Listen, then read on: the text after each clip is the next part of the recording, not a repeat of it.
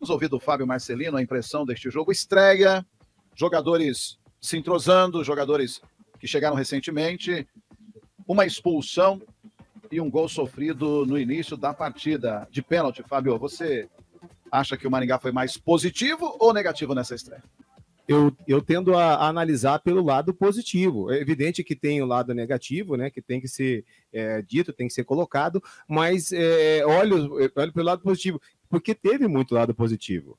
Né, a, a, própria mexida, do, as mexidas, né, na verdade, é, do Jorge Castilho tiveram é, é, é, bom resultado. Os jogadores que entraram mostraram muito empenho, muito vigor físico, é, vontade de querer virar. É, veja que mesmo após o empate, é, a equipe continuou para cima, não, não arrefeceu.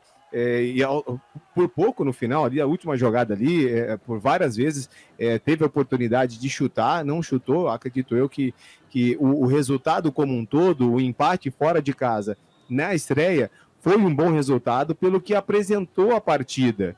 Né? Iniciou é, com uma, um erro individual, eu vou colocar dessa forma. É, o zagueiro Renan chegou atrasado né, em cima do Arthur, um, um um ponta muito rápido e um pênalti. Pênalti não teve, não tem o que discutir, foi pênalti mesmo. E daí então acaba comprometendo toda a partida, né? Com um pênalti, 1 a 0 e ainda assim é, o time mostrou-se bem estruturado, mesmo após uma expulsão.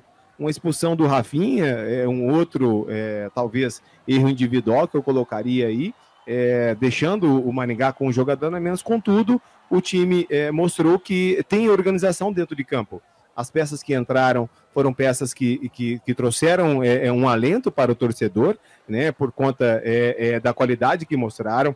É, veja que o Lucas Douglas, né, é, entrou muito bem na partida. O próprio Pelezinho também entrou bem, fazendo, é, mostrando que vai ser um, um, jogador que vai trazer pressão para o concorrente atual, que é o, é o Bruno Lopes. É, a, a, até mesmo os que entraram, né? Veja que o Lucas Lopes também, o nosso lateral direito, em substituição ao que saiu, entrou muito bem, um jogador muito rápido, um jogador que que dá fluência para, para a equipe ali do lado direito.